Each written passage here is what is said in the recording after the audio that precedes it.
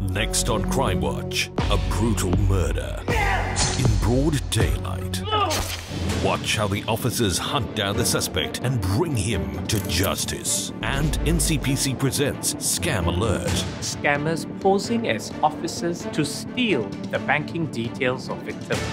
Crime Watch, Sunday, 16th January, 8:30 p.m. on 5. Brought to you by the National Crime Prevention Council and the following partners.